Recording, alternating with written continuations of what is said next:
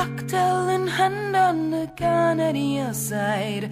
curling smoke in a shady place with a plan on your mind. Hide